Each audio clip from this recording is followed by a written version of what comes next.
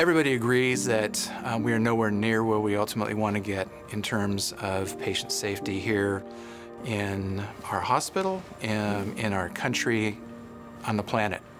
Patient Safety Movement Foundation recognized this some seven years ago and laid down one of the highest benchmarks in the, in the safety world, which is zero preventable deaths. We have a thousand registered nurses in this hospital, and sometimes they would take shortcuts. And so we had to put processes and protocols in place, ensuring that we're doing the right thing all the time. We looked at these actionable patient safety solutions, or APSS as they call them. As part of those APSS, um, there is an executive uh, summary, and the executive summaries have always included a number of bullet points. And we said bullet points are great, but they don't always lead to action. We simply said, make, let's make those action items. Let's make those boxes.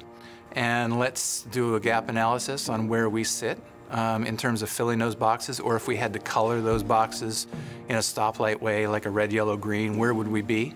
Uh, and if we're not where we want to be, how do we go about getting there?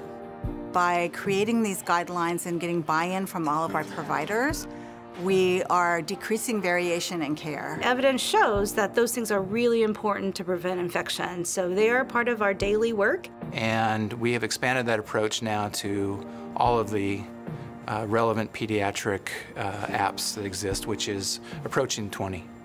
But what the APSS did for us was it allowed us to really take a look at, well, uh, do a comparison of here's where we are, here's where the where what are some recommendations out there, what are our gaps, and how do we maybe shore up some of those um, areas that could lead to potential um, patient harm. We had zero CLABSIs in the cardiovascular intensive care unit for three years. And so if you think about what's going on in that unit and how we did that, it was because we were standardized and we followed those checklists.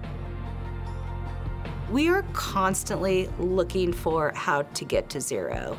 You know, when we're at zero, it's um, it's something to be celebrated, but it is also a little bit nerve-wracking because if we rest on our laurels there, then that's when we're going to be caught off guard.